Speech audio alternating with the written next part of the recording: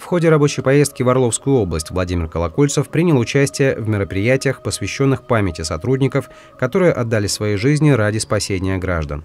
В сквере возле здания областного управления МВД России освещена часовня и установлены мемориальные камни с именами 175 милиционеров и полицейских. История российской полиции знает немало примеров мужества и героизма, которыми мы по праву гордимся.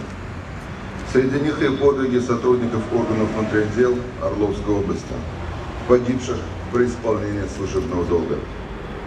Их имена увековечены в камне и будут напоминанием последующим поколениям о неприходящих ценностях, самоотверженности, чувстве долга и беззаветном служении своей Родине.